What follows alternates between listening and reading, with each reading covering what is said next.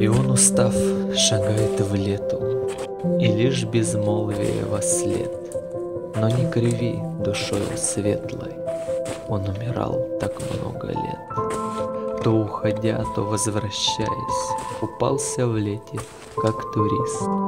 Но книга самая большая Имеет свой последний лист.